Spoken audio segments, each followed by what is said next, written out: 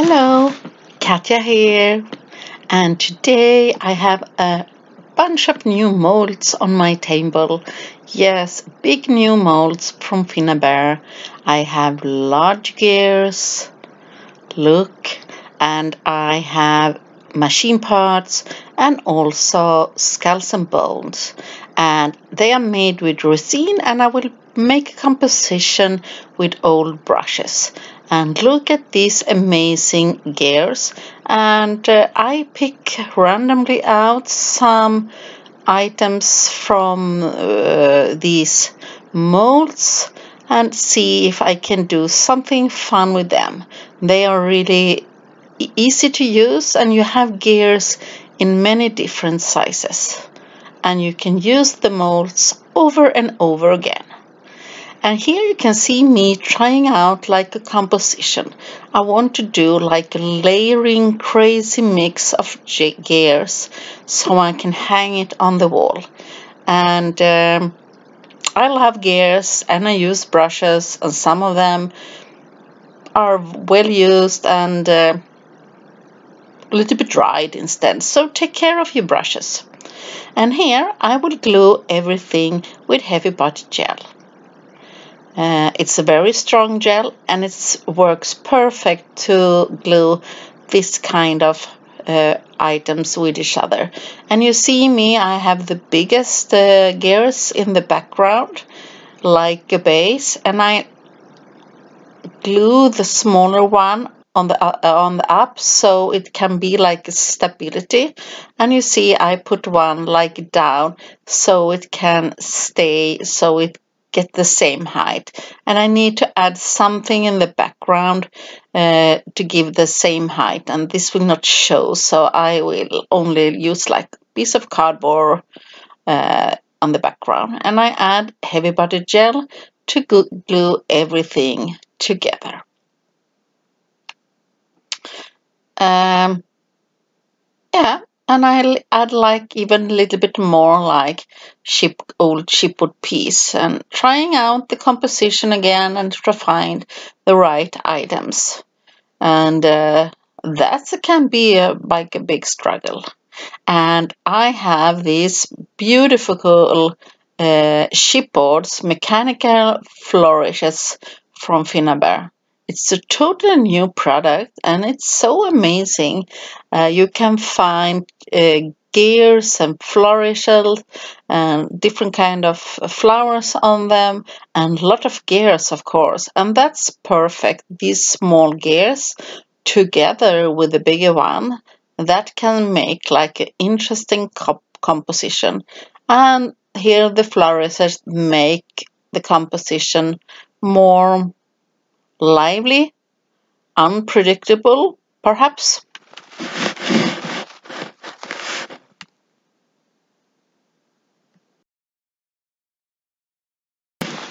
Yeah, and I want to do something with my old dry brushes. I'm a little bit sad, but you must need to take care of your brushes. Uh, so they not, uh, if you, they you don't put them in the water, they will dry out. Here I also have the grungy frames and I pick out some frames and um, also a wing and want to add these to the composition to make it more not only gears uh, like different shapes. And you see the skull and the bones uh, will make something. So I continue gluing. Always think to use the biggest part first and then you will add the smaller parts. And in the mold set you can find like small screws and things like that. And that's perfect to add a little bit here and there. And if you have the heavy body gel a little bit outside, take a, a brush and pull it off. A little bit texture on the product. So I'm adding graphite paste on my project. A uh, little bit here and there, not all or over everything. If you put over everything, the shapes will like disappear. Here I only try to add like the graphite paste uh, underneath and in gaps to fill out the gaps a little bit. And uh, I paint the grungy frame with white heavy gesso and um, remember that if you want to paint over the molds you need to give them like a one uh, coat of gesso. There are white like I'm using. There are clear. And you can only yes and only uh, also do like I'm doing here the black heavy gesso. Uh, and that helps if you want to paint over them or add like I will do the metallic flakes. But the gesso is a primer but it works fine but here I use the black for priming so I can paint over it and play if I have some colors. Here I have the skull and I will add like the gilding glue and metallic flakes. I want to make me my skull totally in glue.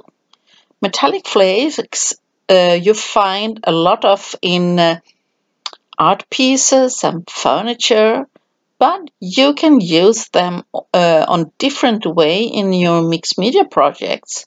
Here I want to have a, a skull in gold and it's really gold. It's make big difference to have these metallic flakes against like um, metallic paint. This is really golden shine. When you have add the uh, gilding flakes, remember that you need to be dry a little bit because if you add the the flakes a little bit too early, everything would stick on everything else would uh, expect for what you paint. So you must wait a little bit. You can use your heating gun or like I did, like adding like a little bit air to wait to the gilding glue gets sticky. Otherwise you have flakes on different places but not on the where you want to have it. I use the back side of the of my brush. You can use like a toothpick for a smaller project or a barbecue stick or something like that. Um, try out what's what's worked for you. Uh, you can also use like a tweezer if you like that, but I really find out that the brush works best for me. You see, I'm trying to pick out pieces like I want to have and uh, and uh, tapping them on carefully uh, all over where I want to have it and you can do it like I do almost all over a like full piece a project. And uh, right now everything is really sticky. For me it's like the flakes need to like stay on different places. And when it's sticky you get like a little bit stick uh, uh, of the stickiness on the brushes end but I don't use the the brush side because I notice that the gilding glue sticks so well on the brush. So my advice to pick something flat.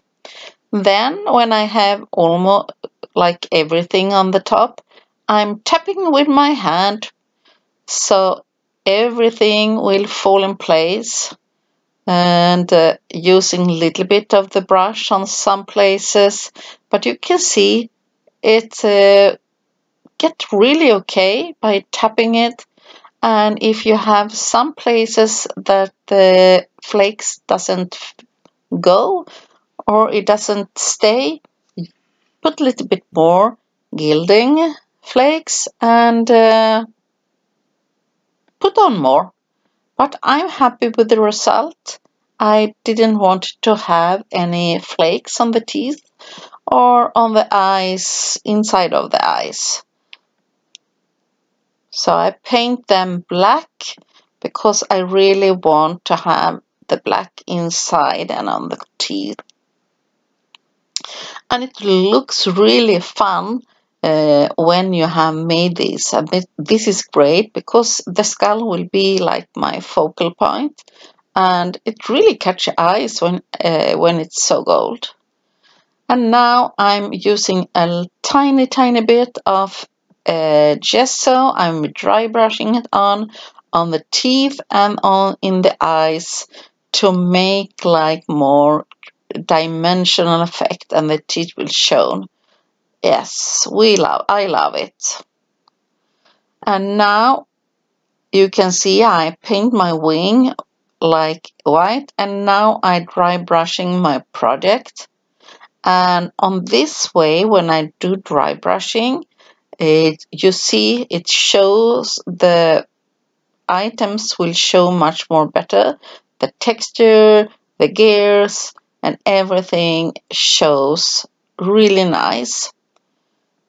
And now, when I have added some white on my project, it's so easy and I can add like these liquid acrylic paint and I start with sienna because then you have like white parts uh, where the color will stay. But the liquid acrylic paint will not show on black but if you add some white and you can dry brush uh, much more or less. Depends how much you want the color to be. Here I want like a dark more grungy background so I haven't dry brush so hard on my project. And also spraying some water on it and if I think I have too much water I'm tapping it off with a paper towel or uh, a baby wipe.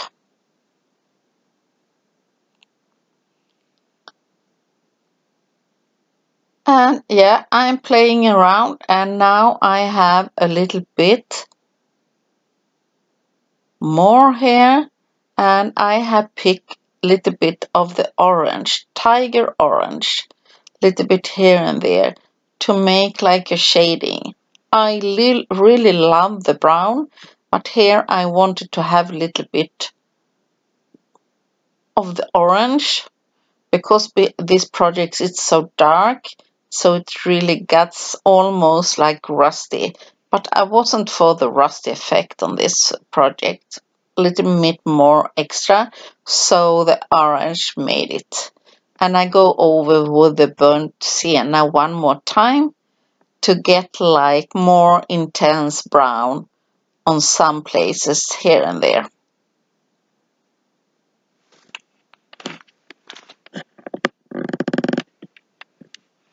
Yeah, and when everything is dry, I'm thinking a little bit what uh, you should do next, and I need to get like uh, extra color and then we have the new matte wax, a faded denim from Finnabair.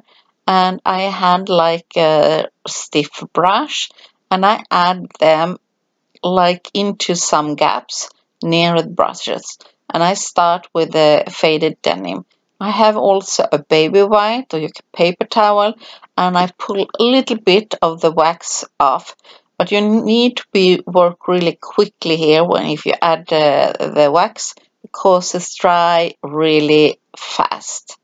Here I have the sage leaves and I'm adding here also and I'm adding it near the composition, not go all over, only nearby the brushes so it will not be too messy look. And tapping a little bit uh, off uh, it's not necessary to do that, it's uh, your choice. Okay, it's time for a little bit more of the gold flakes and I want to add it a little bit here and there. So I'm adding the, uh, uh, the gilding glue on some places, not all over the project, like here and there, because I want the gold looks like it have been underneath perhaps sometimes uh, on this project so the gold will show on some places here and there on the project and no perfection only like some flakes on some uh, places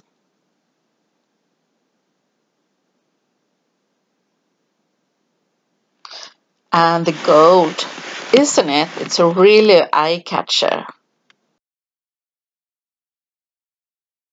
So please, if you like this video, give it a thumbs up. That I should appreciate. It helps the channel to get watched and more can watch this video.